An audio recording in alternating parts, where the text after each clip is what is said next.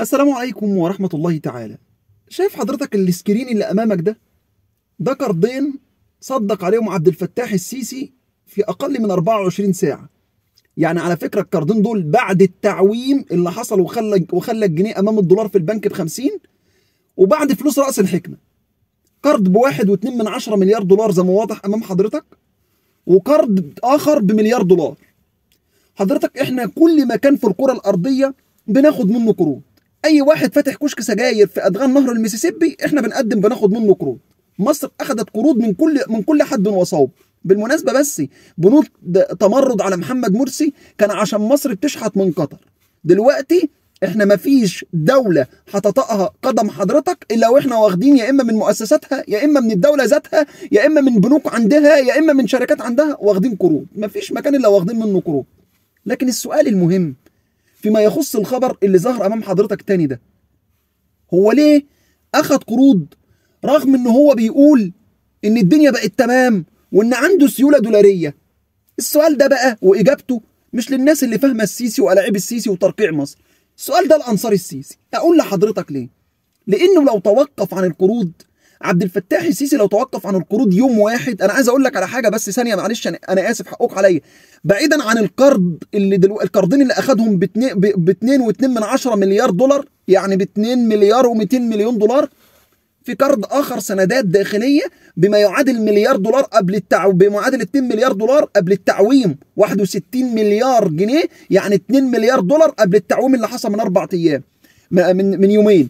يعني خلال الاربع أيام السيسي حصل على قروض ب 4 مليار دولار منهم 2 مليار داخلي بالجنيه يعني و2.2 من عشرة مليار خارجي. الإجابة على السؤال اللي أنا بقول لأنصار السيسي ليه هو مستمر في القروض ولن يتوقف؟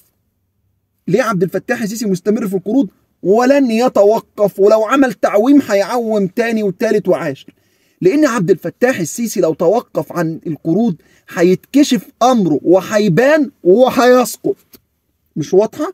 لو توقف عن القروض هيتكشف أمر أكاذيبه أمر الفناكيش بتاعته أمر إن كل المشاريع الفنكوشية اللي عملها لم تدخل لمصر دولار واحد. هيتكشف أمره أمام الكل مش هيقدر يوفر أي شيء. عارف حضرتك الوضع اللي بتعيشه غزة وإن مفيش لقمة عيش؟ ده الوضع اللي هيعيشه الشعب المصري لو عبد الفتاح السيسي توقف عن القروض ساعة. ساعة ما عليك مش هتلاقي رغيف العيش. ليه؟ لأن ما عليك بمنتهى البساطة أهو. ولا أنا بكذب أنت لا بتزرع. أوعى تفتكر بس شوية الاراضي الزراعية اللي أنت حضرتك بتشوفهم لما بتخرج بره البيت. دول هم الزراعة اللي في مصر. لا دول 120 مليون إنسان. فبيبقى في زراعة على مساحات شاسعة جدا.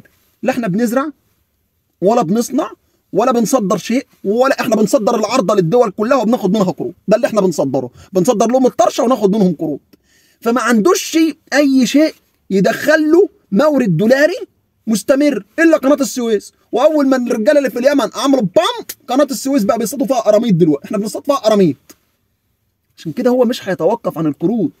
ففكرة إن يقول لك آه طب مشيها استثمار. ها؟ شوف أنا باخدك على قد عقلك أهو. مشي إن اللي عمل عبد الفتاح السيسي في رأس الحكمة استثمار. ومشي إن اللي هيعمله في مطارات مصر وهيبيع مطارات مصر كلها استثمار. مشي إن كل ده استثمار لما كل ده استثمار عجلة الإنتاج مش شغالة ليه؟ الدولار ليه بيجي عليه وقت وبيختفي من البنوك وبيخلص؟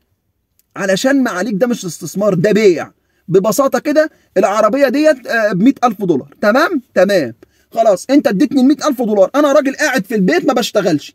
هعمل إيه في ال 100000 دولار؟ هاخد النهارده 500 واصرفهم. هاخد بكرة 1000 واصرفهم. الشهر الجاي محتاج لبس العيد والأولاد والمدارس ومش عارف إيه. واخد واصرف. هيحصل إيه في ال 100000 دولار في النهاية؟ هينتهوا هيتموا. أهو ده اللي بيحصل في مصر. ضيف على كل ده إن معاليك مديني ثمن العربية 100000 دولار وأنا أصلا مديون ب 2 مليار دولار. ده اللي حصل لعبد الفتاح السيسي. باع أرض مصر باع رأس الحكمة باع مد... رأس جميلة هيبيع المطارات. حجم الديون اللي على السيسي كبيرة جدا كبيرة جدا. معاليك القرضين اللي لسه واخدهم دول اللي هم ب 2.2 من 10 مليار دولار.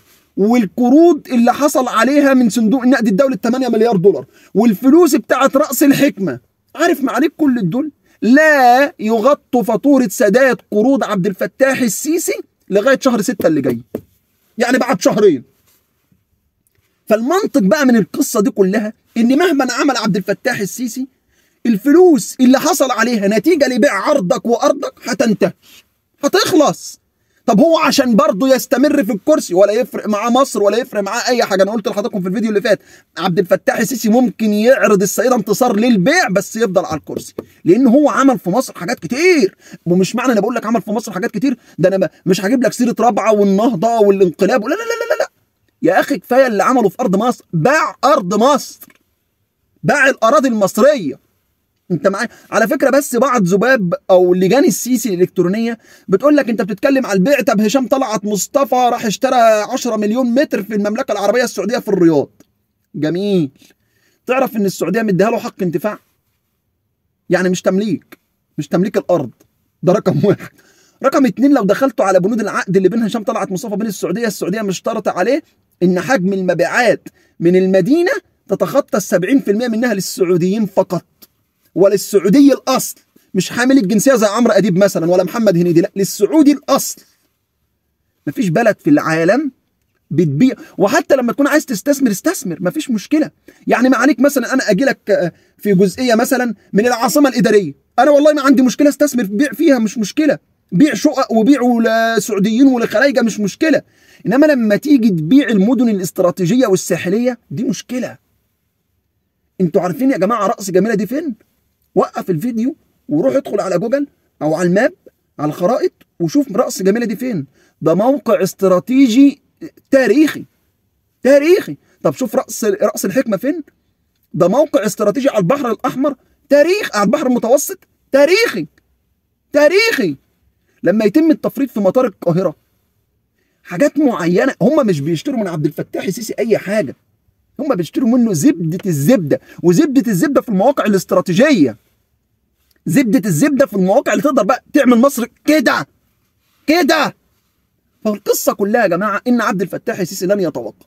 التعويم اللي موجود ده حضرتك هتشعر وكأن الأمور كويسة لمدة شهر.